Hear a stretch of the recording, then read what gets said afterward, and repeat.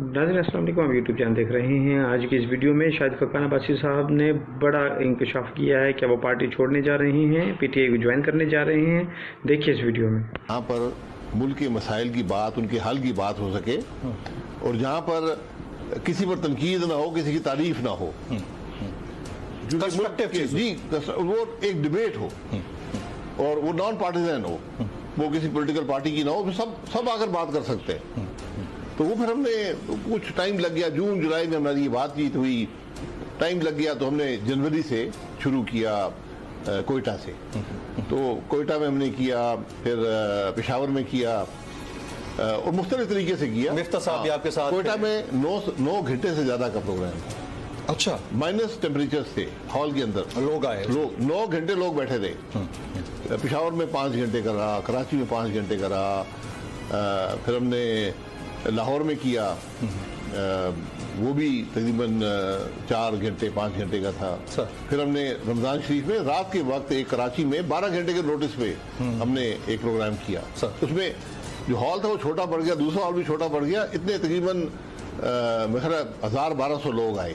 और ये क्वालिटी ये लोग जो फील करते हैं। क्वालिटी ऑडियंस थी पढ़ा लिखा था जी और कराची में आप यकीन करें कि जो हमने पहला प्रोग्राम किया था अ, हबीब यूनिवर्सिटी में। सर। तो उसमें मेरा ख्याल है कि पाकिस्तान के अगर 20 अ, बड़े बिजनेसमैन को आप ले लें हाईएस्ट टैक्स पेयर्स को तो उनमें से 10 12 वहाँ बैठे हुए मौजूद थे। और पूरा वक्त बैठे रहे। लोग बड़े परेशान हैं कि हर मुल्क के हालात कहाँ जा रहे हैं। फिर हमने कोयटा में किया सॉरी। हैदराबाद में हैदराबाद। फिर लाहौर करके फिर हैदराबाद किया। तो ये एक प्रोसेस हम चला रहे हैं। सर। और इसका मकसद सिर्फ़ ये है कि जरा जगाया जाए पॉलिटिकल पार्टीज़ को। कि आप मुल्क के मसाइल की बात करें अवाम की तकलीफ़ की बात करें उनके हल तलाश करें।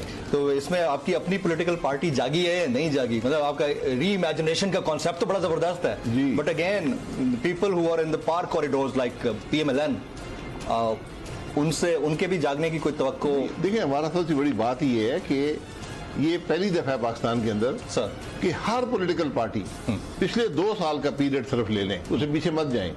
हर पॉलिटिकल पार्टी इकतदार में रह चुकी है। ऐसा ही है। और ऑलमोस्ट क्या वो मसाइल हल कर सके? नहीं कर सके। इसलिए आज जो भी उनके पास हल हैं वो नाकाफी हैं। जो उनकी सलाहियत है वो नाकाफी है। हमें- की हमें। कुछ और एफर्ट करनी पड़ेगी वरना मुल्क के मसाइल हल नहीं कर सकते। हमने बड़े वसी रिफॉर्म्स करने हैं मुल्क के अंदर। ये ये बातें इस फोरम से क्या आप अब भी पाकिस्तान मुस्लिम लीग नून का हिस्सा हैं? जी मैं पहले से हूँ पैंतीस साल से। बहुत अरसे से हैं मैं इसलिए कहता हूँ और आपका ये ये जो फोरम है क्या इसकी एक्सेप्टेबिलिटी है पीएमएलएन के बैनर के अंदर? किसी ने शिकायत नहीं की। नवाज़ साहब को पता है इस चीज़ जी सबको पता है। और वो खुश हैं इसके ऊपर कि बनाए आप? नहीं खुश हैं या नहीं मुझे इस बात का इल्म नहीं है। लेकिन मेरा ख्याल उन्होंने कभी अपनी राय के इजहार से रोका नहीं है। मैंने पहले कहा कि हमने ना किसी पर तनकीद करनी है ना तारीफ़ करनी है। तो मुल्क के मसाइल की जहाँ पर बात हो उस पर तो कोई तनकीद की गुंजाइश नहीं है। आने वाले इलेक्शन में पार्टिसिपेट कर रहे हैं आप? देखिए वो मैंने पहले भी कह दिया? मैंने पहले भी कह दिया है कि मुझे ये इलेक्शन जो है ये बेमकसद नज़र आ रहे हैं। तो यानी आप कंटेस्ट नहीं करेंगे? नहीं कंटेस्ट की बात देखें कंटेस्ट जो होता है मैं पैंतीस साल से इलेक्शन कंटेस्ट कर रहा हूँ। सर। ये फैसले आपके हल्के के अवाम करते हैं कि कौन लड़ेगा और कैसे लड़ेगा। लेकिन मैंने अपनी राय का इजहार करने का हक तो मुझे हासिल है बिल्कुल है। तो मैं ये आज बात कर रहा हूँ जो मैंने पहले कभी नहीं की पिछले पैंतीस साल में नहीं की सर। कि हमेशा जब भी मुल्क के अंदर मसाइल हो हाँ। एक सियासत में कशमकश हो एक जमूद हो मीशत के मसाइल हो सर। तो उसका हाल इलेक्शन होता है। मुझे इस हाल में इस इलेक्शन में हाल आप लोगों ने शाहिद खान अब्बासी साहब को सुना जो कि पीप नून लीग के सीनियर तरीन रहनमा है और सबक वज़ीर अजम हैं। उन्होंने खरी खरी बातें की हैं जो कि जैसे उन्होंने कहा है वैसे अगर हो जाए तो बात अच्छी बन जाएगी पाकिस्तान के लिए और वो सही अपनी ख्याल का इजहार करते हैं और और इसी वजह से नून लीग में काफ़ी इख्तलाफात जो हैं वो पाए जाते हैं और कुछ लोग सीनियर तरीन लोग हैं, जैसे शायद फरकान अब्बासी साहब हैं, वो इख्तलाफात करते हैं, अपनी राय देते हैं और उनकी राय काफ़ी मुस्बत होती है। और अभी तक आपको जैसे कि मालूम है, उनके मुकदमे जो हैं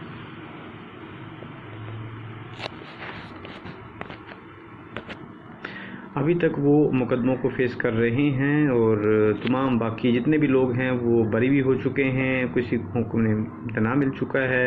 लेकिन एलएनजी केस में शाहिद खकान अब्बासी साहब जो हैं, अभी तक लटके हुए हैं और वो अक्सर कहते भी हैं कि नैप जो है, काला कानून है, इसको ख़त्म होना चाहिए और क्योंकि उनके ऊपर सियासी मुकदमा बना है, उनके अकॉर्डिंग अब ये तो हमें नहीं मालूम कि मुकदमा सियासी है या कैसा है, वो फेस कर रहे हैं और कैद भी उन्होंने इस बिना पर काटी भी थी और आइंदा जो है वो समात पे भी जा, जा रहे हैं और बाकायदा तौर पर कुछ अफवाहें जो हैं गर्दिश कर रही थी कि शाहिद खान अब्बासी साहब जो हैं वो पार्टी चेंज कर रहे हैं या अलग ग्रुप बना रहे हैं जिसमें मिफ्ता इस्माइल साहब भी हैं और भी कुछ पीपल्स पार्टी के नाराज़ रहनमा भी हैं और उनको मिलाकर ये ग्रुप तश्कील देंगे या फिर अलग पार्टी बना लेंगे।